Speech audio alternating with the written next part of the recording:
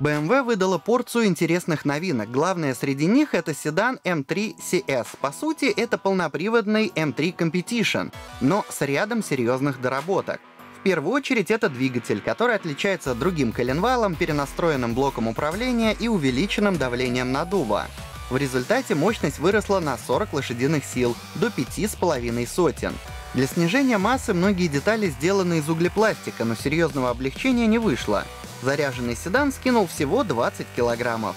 На месте все главные особенности М3 и активный М-дифференциал сзади, и режим дрифта, в котором передний привод полностью отключается. Подвеска доработана для езды по треку, за доплату можно получить керамические тормоза. Все баварские четверки, включая заряженные версии, получат новый салон, впрочем, уже известный по машинам семейства с индексом 3. В центре композиции 12-дюймовая цифровая приборка и почти 15-дюймовый дисплей мультимедийной системы. В недра его меню отныне упрятано управление климатической установкой. А еще на всех версиях, кроме отмеченных литерой M, джойстик управления трансмиссией заменили компактным переключателем. Старается не отставать и тюнинг ателье Alpina, которая представила модель B5 GT, причем сразу в двух кузовах — седан и универсал. Технически это серьезно переосмысленная BMW M550i, но в данном случае это еще и самая мощная модель в истории компании.